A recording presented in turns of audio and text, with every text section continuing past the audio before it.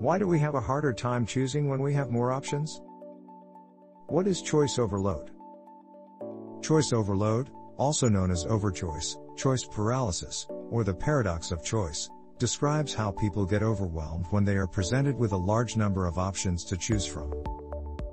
While we tend to assume that more choice is a good thing, in many cases, research has shown that we have a harder time choosing from a larger array of options. Why it happens? We have limited cognitive resources, so having more options to consider drains our mental energy more quickly, overwhelming us.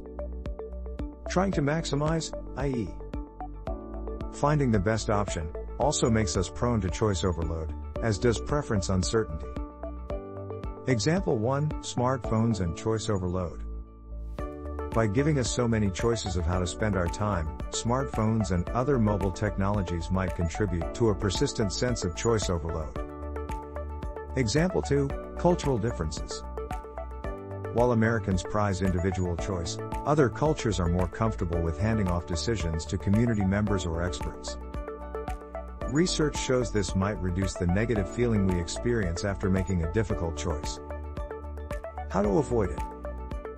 Set aside some dedicated browsing time, treat your choices as non-reversible, and try keeping a gratitude journal. Attention. Choice overload describes how, when given more options to choose from, people tend to have a harder time deciding, are less satisfied with their choice, and are more likely to experience regret.